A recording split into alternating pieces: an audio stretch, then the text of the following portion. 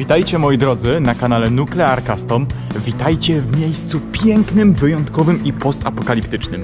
W kopalni soli. I dzisiaj moim celem jest dostać się na samą górę, tam, tam, tam wysoko. I zrobię to tak czy siak, taki jest plan.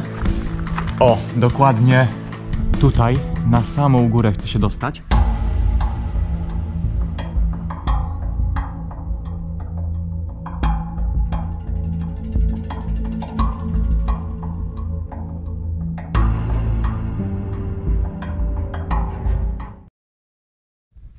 Ogólnie, tak jak widzieliście, na tym terenie jest piękny taki przegub łączący dwa budynki. Tak samo jak szyby, które wciągały cały materiał z wyrobiska.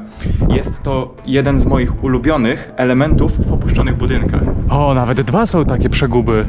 Patrzcie, jakie piękne. Obydwa betonowe, obydwa potężne. E, I z tego co wiem, to właśnie gdzieś tutaj ostatnio dało radę wejść. Tylko z tego co mi się wydaje, to będę musiał włazić gdzieś po drzewie. Zobaczymy, czy to mnie utrzyma. Te gałązki u góry nie wyglądają tak odpowiednio, ale ryzyk fizyk, nie?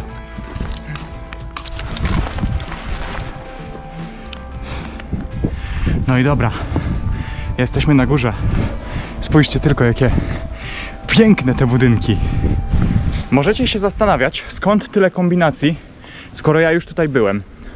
No właśnie, jedyna wcześniejsza znana przeze mnie ścieżka prowadziła przez wgłębienie pod bramą. I to była bardzo, bardzo nieprzyjemna ścieżka do wchodzenia. Natomiast teraz czeka nas wejście tutaj, do góry, do góry i tam przejdziemy się po tym przegubie dalej. Nie przejdziemy się tym przegubem, z tego względu, że zobaczcie, on jest zamurowany. Tam w rogu nawet widać dziurę. I tam normalnie była kiedyś przestrzał, był przestrzał, ale teraz no nie da rady już tędy przejść, więc trzeba się wspinać. Ale za to zobaczcie, fajnie to wygląda. Rudera taka jakich wiele, natomiast w środku jak wejdziemy, zobaczycie klimacik.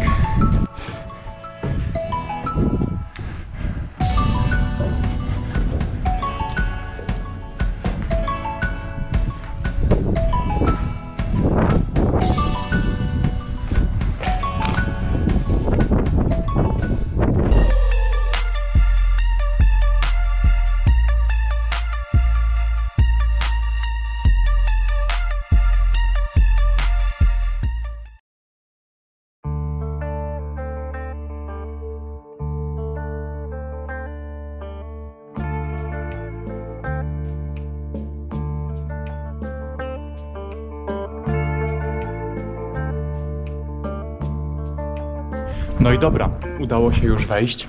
Udało się już dostać do środka, do wnętrza tej oto kopalni. W sumie powiem Wam, że to jest jedyna kopalnia, którą jak dotąd zwiedzałem. W żadnej innej jeszcze nie miałem okazji być. No i chciałem Wam ją bardzo pokazać, z tego względu, że jest to jedyna taka kopalnia. Wiąże się z nią również bardzo ciekawa historia, ale to opowiem Wam za chwilkę.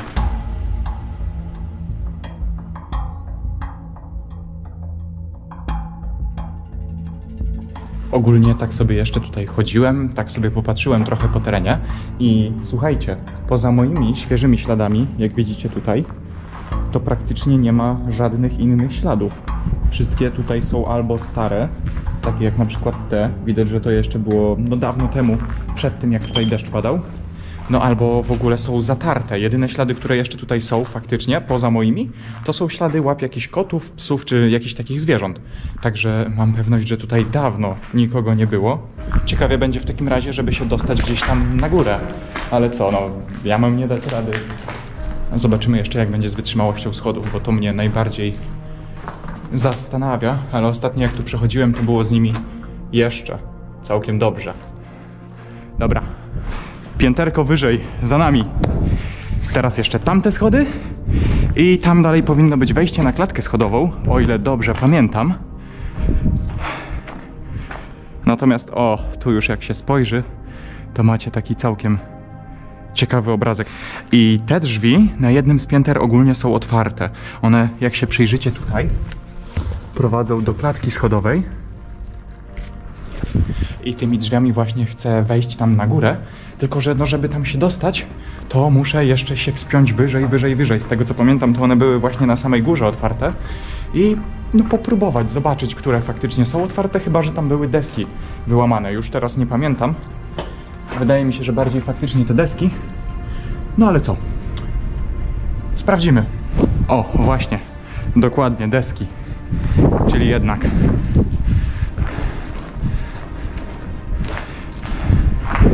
I tutaj też mamy wyjście na dach. I od szczytu dzielą mnie trzy piętra.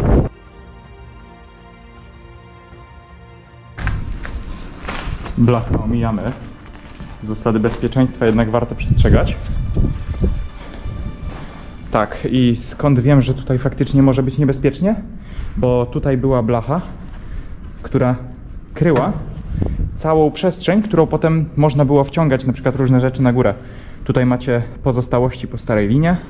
Tam jak się przyjrzycie w dół, to macie prześwit na kilka pięter. A ta blacha może być w podobnym stanie co ta płyta. Jak się przyjrzycie, ona się wygina przy naciśnięciu palcem nawet. Natomiast całość, patrzcie, jeszcze pracuje.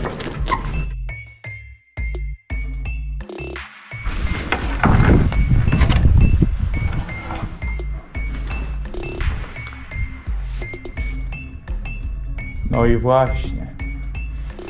O, jestem w klatce schodowej. Jeszcze nie jestem na najwyższym piętrze, natomiast już. Spójrzcie, jak to wygląda.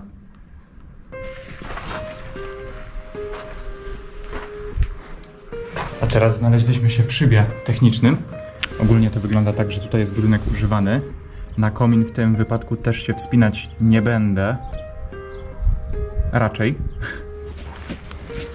I zwiedzamy właściwie tylko ten budynek, w którym teraz jestem.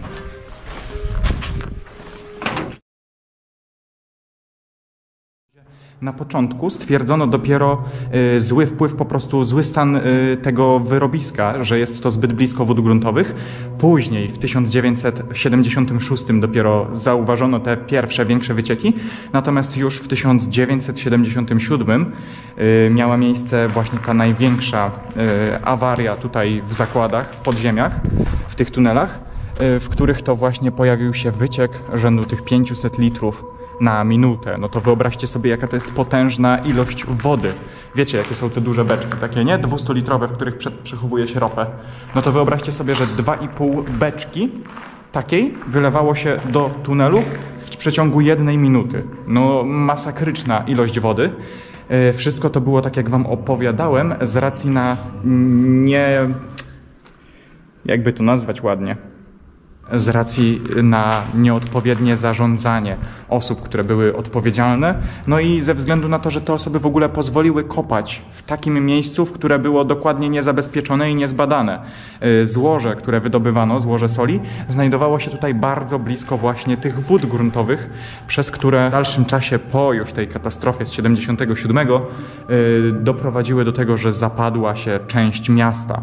Utworzył się tam lej o rozmiarach 3 na 4 metry. No także całkiem spory i najlepsze jeszcze jest to, że wtedy nasza polska władza nie za bardzo chciała o tym opowiadać. Dlatego informacje o takim stanie rzeczy w tej kopalni przekazało Radio Wolna Europa. No i potem dopiero właśnie zajął się tym y, no, władza zajęła się tym tak jak powinna, czyli zabezpieczyła teren, y, mieszkańców wysiedliła i doprowadziła do stanu, w jakim obecnie się to znajduje. Szkoda kopalni, ale dobrze mimo wszystko, że skończyło się to tylko tak, jak się skończyło. Kwestie bezpieczeństwa, jednak nie takiego mm, ze względu na złe y, zarządzanie fabryką, jednak ze względów na zagrożenie bezpośrednie dla władz partii, y, pojawiły się również w roku 1970, na przełomie 70-76, gdy doszło do takiej największej tutaj właśnie y, katastrofy, której zaraz, do której zaraz dojdziemy. Y, Władze stwierdziły, że wyślą tutaj specjalną grupę, która będzie się interesowała tym, czy nie ma tutaj czasem działalności, y, która będzie prowadzić w przyszłości do strajków. No i właśnie już były wzmożone kontrole, już były wzmożone, tak można powiedzieć, że zakład znalazł się pod lupą władz. No i wszystko przypieczętowały trochę większe jeszcze te wycieki wód gruntowych. Y, które po prostu były kijowo zabezpieczone, ale były tak kijowo zabezpieczone, że nawet maszyny pompujące, które normalnie powinny tą wodę całą wypompowywać, to już sobie z nią nie radziły. Było to ponad 500 litrów na minutę, która się wylewała i no, nie była to po prostu na tamten czas ilość wody, którą można byłoby bezpiecznie wypompować, przy której górnicy mogliby tutaj bezpiecznie pracować.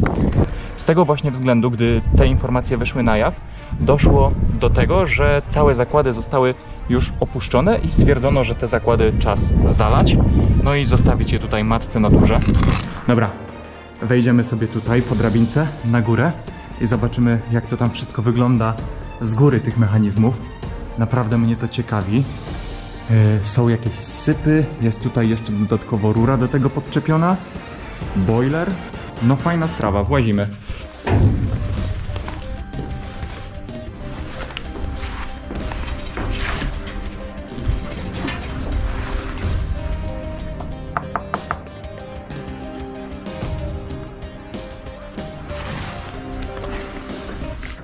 Tam jest drabinka.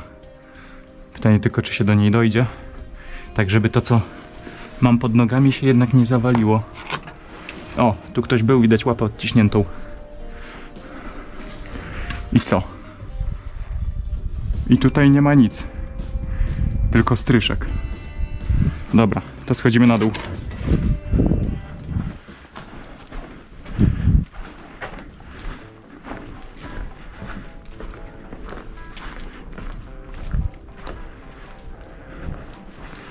I właśnie, i teraz pytanie. Te schody, które tutaj były? Nie było ich. A nie, były, patrzcie. Zostały już zdemontowane. Czyli tam na dół już się teraz nie zejdzie. Natomiast dobrze przynajmniej, że da radę wejść tutaj na górę i zobaczymy, może z tej strony będzie wejście do przegubu i przejście gdzieś dalej. Nie wiem, czy to dobrze zapamiętałem. Miejmy nadzieję, że tak. No i mamy nasz przegub, nasz łącznik. Piękne miejsce, fajne. Zobaczcie, tu z drugiej strony mamy widok na ten łącznik, po którym szedłem na początku.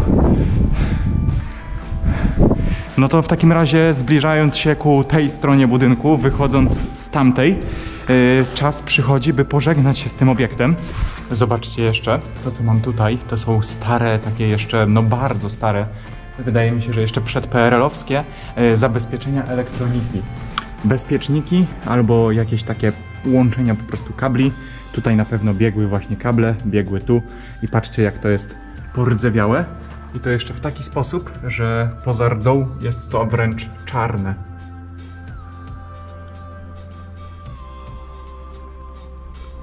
Bardzo ciekawie prezentuje się to na tej szarej ścianie, z tym wyróżniającym się, rzucającym się w oczy kolorem pomarańczowym.